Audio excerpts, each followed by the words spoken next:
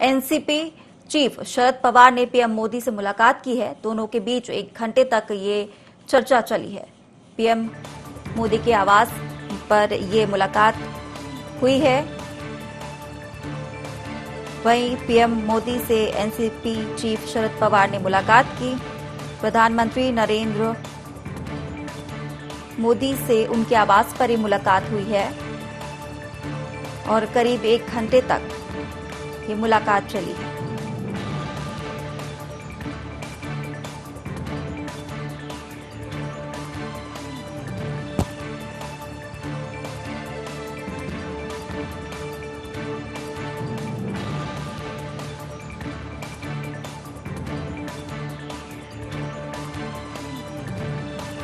और वहीं अधिक जानकारी के लिए हमारे साथ प्रबंध संपादक मनोज सैनी सर जुड़ गए हैं।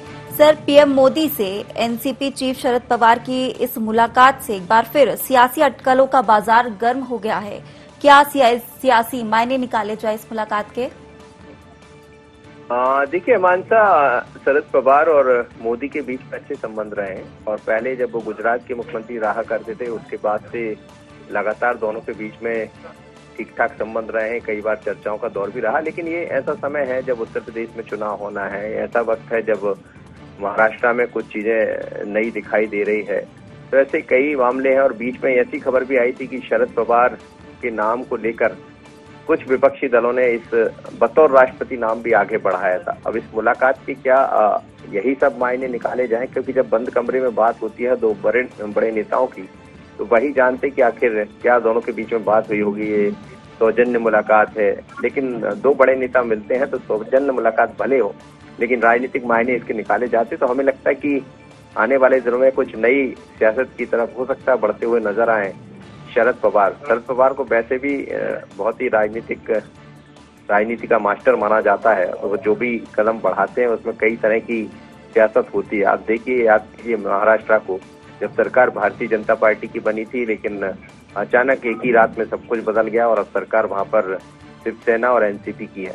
तो यही शरद पवार है। और आज दोनों की मुलाकात हुई है तो इसके दूरगामी बहुत कुछ रिज़ल्ट भी दिखाई देंगे, क्योंकि देश के अंदर भी जो राजनीति, खासकर कांग्रेस को लेकर अलग तरह की चल रही है, और उसमें एनसीपी एक अलग तरह का रोल निभाते रहे तो कई तरह की चर्चा है दोनों के मिलने के बाद, लेकिन जब दोनों मिले हैं तो चर्चाओं का बाज़ार ज़रूर गर्मा गया। तो क्या सर, आने वाले समय में हम शरद पवार के कद को बढ़ता हुआ देख सकते हैं?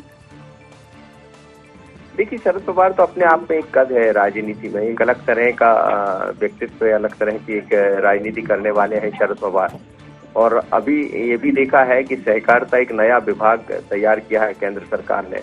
और सहकारिता का सबसे ज़्यादा कहीं वो है तो गुजरात और महाराष्ट्र में है।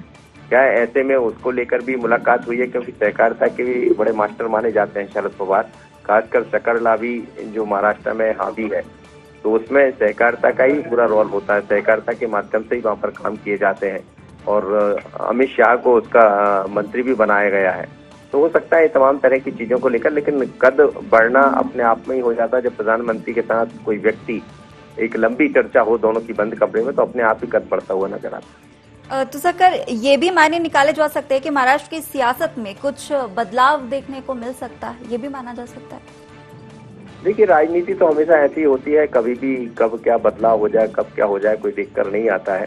लेकिन तमाम तरह की चर्चाएँ हैं कि शरद पवार की मुलाकात हुई है तो क्या महाराष्ट्र को लेकर हुई है, या अन्य राज्यों में जो शुरू होने वाले चुनाव उनको लेकर हुई है तो कई तरह की चर्चा निश्चित रूप से बंद कमरे में ही होगी। आने वाले समय में नज़र आएगा, देखना होगा कि दोनों की मुलाकात के क्या चीज़ें निकल कर सामने आती सर बहुत बहुत धन्यवाद हमारे साथ जुड़ने के लिए और तमाम जानकारी साझा करने के लिए।